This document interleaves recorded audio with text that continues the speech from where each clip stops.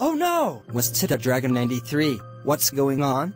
Oh, Jace, the Aerosmith and Blue's Clues fan. My father died yesterday at age 54 due to liver cancer.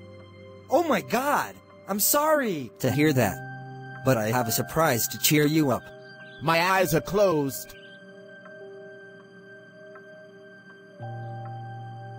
Hooray! I got a Super Mario video game. Thank you so much, Jace, the Aerosmith and Blue's Clues fan. You're welcome. Let's game together.